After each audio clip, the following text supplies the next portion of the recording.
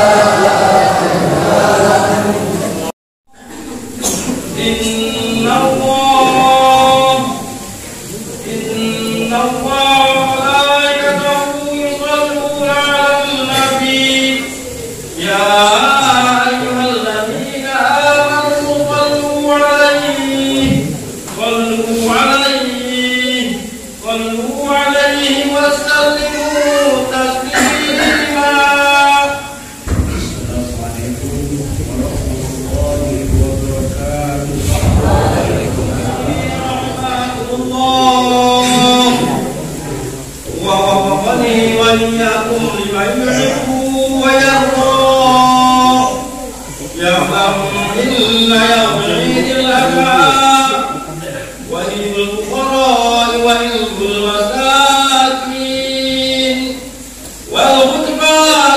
في عامة رفعتين من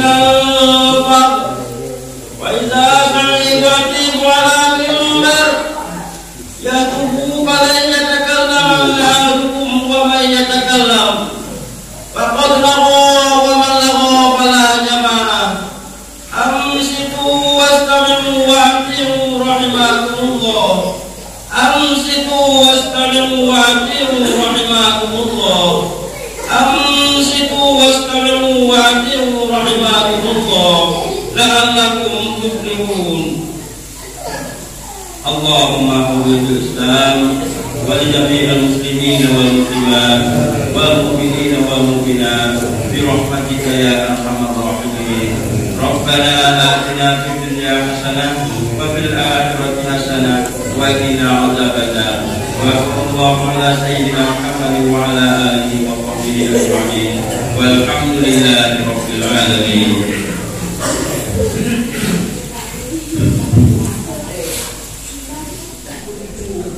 salah satunya melaksanakan ibadah haji